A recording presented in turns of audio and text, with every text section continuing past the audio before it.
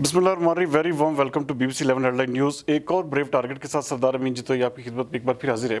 नाजिन आज हम पहुँचे हैं साहिवाल शहर में। हमारे साथ साहिवाल की सियासत का एक बड़ा नाम, एम लतीफ़ मुगल, उनके साहबजादे, जो कि इस वक्त पाकिस्तान तहरीक इंसाफ के पी पी टू हंड्रेड में कैंडिडेट भी हैं एम हरून लतीफ़ मुगल।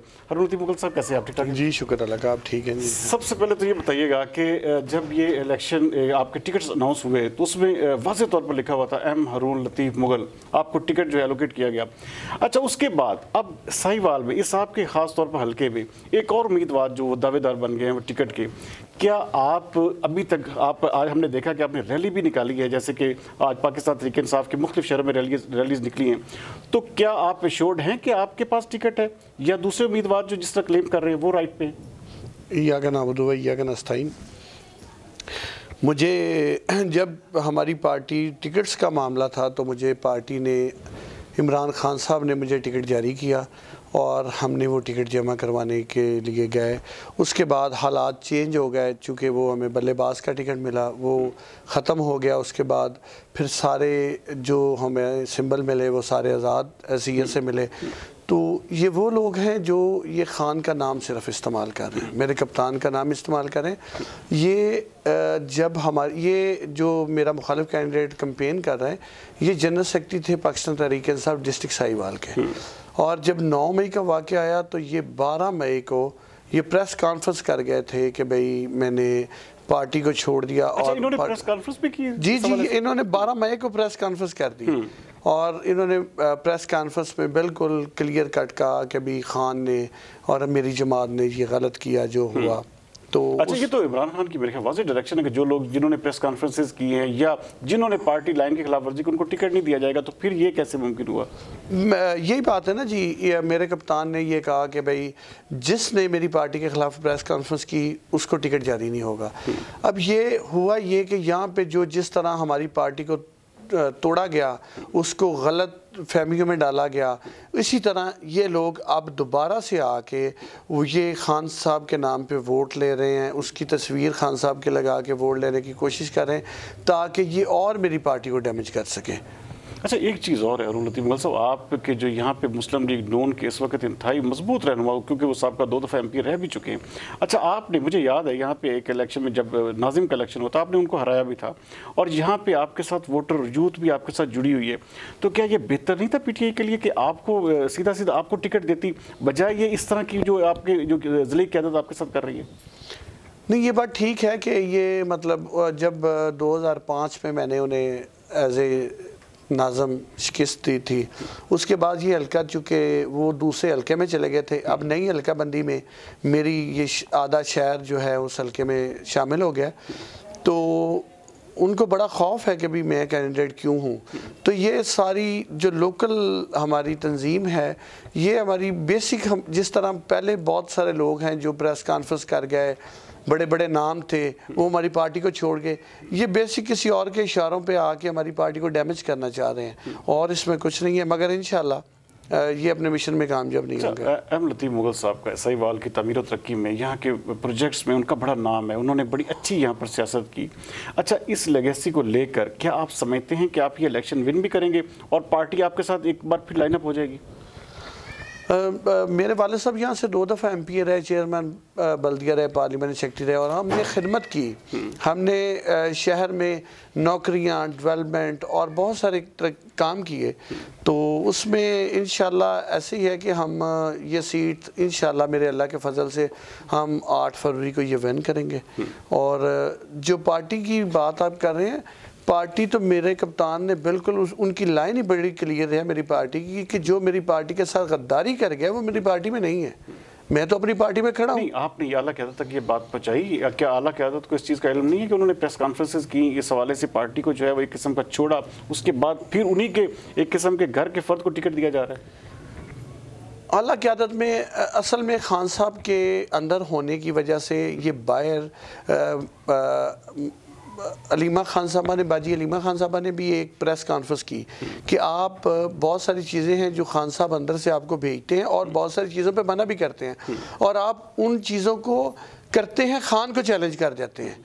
खान साहब को आप चैलेंज करते हैं। ये सारे ये जो लोग हैं, ये मफाद परस्त टोला है। ये इन्होंने पहले भी पार्टी को नुकसान पहुँचाया और अब भी ये उसी मिशन पे अभी तक लगे हुए हैं। वो एक मर्द आहन अभी तक उसने गुलामी की ज़िंदगी कबूल नहीं की, कि उसने कहा कि मुझे मौत कबूल है अपनी कौम के लिए। अगर वो चाहते तो वो भी बाहर जा सकते थे। वो भी साइन करके बाहर चले जाते, डील करके चले जाते, फिर दस साल बाद आ जाते। मगर उन्होंने अपनी कौम के लिए ये फैसला किया। यहाँ पे सबसे बड़ी चीज़ यह कि आपका ये गला मंडी, ये सारा जितना भी एरिया आपके पास है। अच्छा यहाँ का इंफ्रास्ट्रक्चर बिल्कुल नकारा हो चुका है। यहाँ पे आप काम देखें, यहाँ पे डेवलपमेंट आपकी सड़कें, आपकी सोलिंग नालियाँ सीवरेज अच्छा इसके के बेशुमार मसाइल हैं। क्या एम हरून लतीफ़ मुगल इलेक्शन जीतने के बाद ये सारी चीज़ों का मदावा कर सकेंगे? क्या आवाम को उनके हकूक दिला सकेंगे? इंशाल्लाह जी ये ये हल्का बाहर का हल्का नहीं है मेरे वालद साहब ने हमेशा यहाँ पे मतलब यहाँ तक कि अभी लोगों को कच्ची आबादियों में मालकाना हकूक तक घरों तक छतें तक हमने हम्म। अल्लाह पाक की वो सात से अल्लाह ने हमें हिम्मत दी और हमने वो लोगों के घरों के बैनामे और कच्ची बादियाँ उनको अलाट करके भी दी।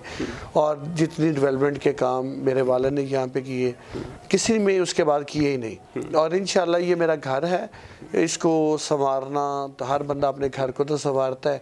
इन जीत के बाद ये सारी मेरे हल्के की आवाम हमेशा की तरह जिस तरह हमारे ख़ानदान की रवायत है सभी लोग एमपी होते हैं सभी लोग जिस जो अहदा हमारे पास होता है सभी उन्हीं के पास होता है वो खुद उसको इस्तेमाल करते हैं। हाँ सब एक चीज़ और है आज आपने देखें आपने बिल्कुल फ्रंट फुट पे आते हुए आज रैली भी निकाली। अच्छा क्या आपको डर नहीं लगता कि आपके ऊपर भी दोबारा से वो पर्चे हो जाएँगे आपको अंदर कर दिया जाएगा?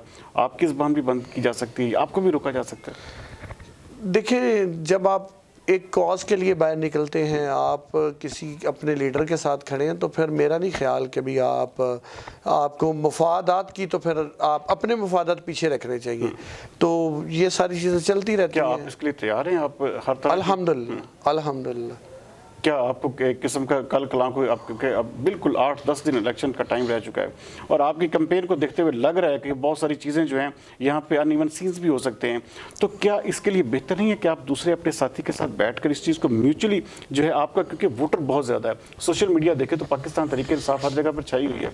तो क्या ये बेहतर नहीं है कि आप दोनों है बाप बैठ कर इस चीज़ को सॉर्ट आउट करें? मैंने उन्हें एक मेरे पास एक दोस्त आए थे, मैंने उन्हें कहा कि अगर आप पहले तो आप मेरी पार्टी में रीज्वाइनिंग करें हम्म। आपने प्रेस कॉन्फ्रेंस की है मेरी पार्टी में रीज्वाइनिंग करें अगर आपने की है तो मुझे बता दें हम्म। दूसरा मेरी क्यादत आला क्यादत के पास आप मुझे ले चलें मेरे खान के पास ले चलें अगर मेरा कप्तान कहेगा कि आप मेरे कैंडिडेट हैं मैं आपके गले में हार भी डालूँगा और आपकी कंप्लेन भी करूँगा हम्म। मगर वो इस बात पे वो चूँकि हैं नहीं वो प्रेस कॉन्फ्रेंस वाले हैं अपने मफादात वाले हैं तो मेरा नहीं ख्याल वो इस बात पे उनके साथ। जो पार्टी के पार्टी का गद्दार हो उसके साथ बैठना मैं तो मेरा कप्तान पसंद नहीं करता तो मैं भी नहीं करता। कैसे करेंगे? अच्छा एक चीज़ और है। हरून लतीफ़ मुगल जीतने के बाद क्या वैया रखते हैं इस हल्के के लिए क्या करना चाहते हैं? क्या आपके प्लान क्या है आपके? प्लान मेरा मेरे कप्तान ने सेहत कार्ड दिया। मेरे कप्तान ने अकवा मुतहदा में इस्लामी नज़रिए को उजागर किया। हमने भी नौजवानों के लिए रोज़गार, लोगों के लिए छतों का बंदोबस्त का वादा किया।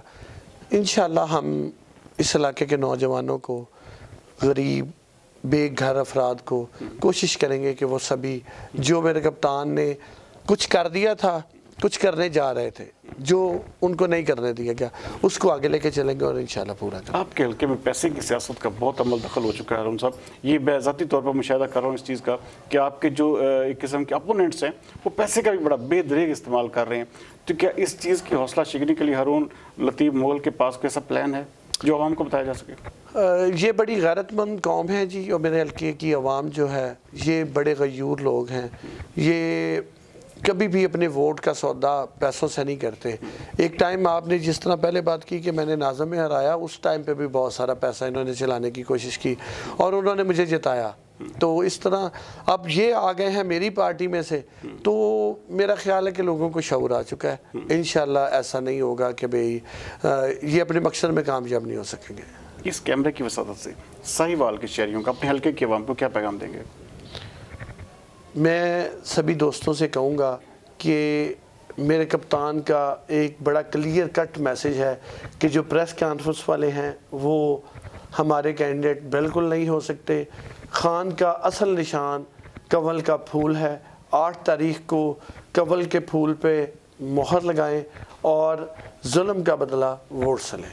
नाजिम हरून, लतीफ़, मुगल इंतहाई ज़्यादा मोटिवेटेड भी हैं और उनका कहना भी है कि पार्टी जो है वो इस हवाले से इंसाफ करे कि जिन्होंने प्रेस कॉन्फ्रेंस की और जिन्होंने प्रेस कॉन्फ्रेंस करके पार्टी छोड़ी, क्या उनके साथ खड़े रहना है या एक डेडिकेटेड वर्कर के साथ? और वो अपनी जीत के लिए भी इंतहाई पुरज़म है, क्योंकि उनका कहना है कि उन्होंने सबका भी यहाँ के जो उम्मीदवार हैं एम पी ए के मुस्लिम लीग नून के, उनको यहाँ पर बलदियाती इलेक्शन में भी हराया तो आने वाले इलेक्शन जो आठ फरवरी को होने जा रहे हैं उसमें भी हराएँगे। अगले प्रोग्राम तक सरदार मीन जितोई को दीजिए इजाज़त। पाकिस्तान, जिंदाबाद।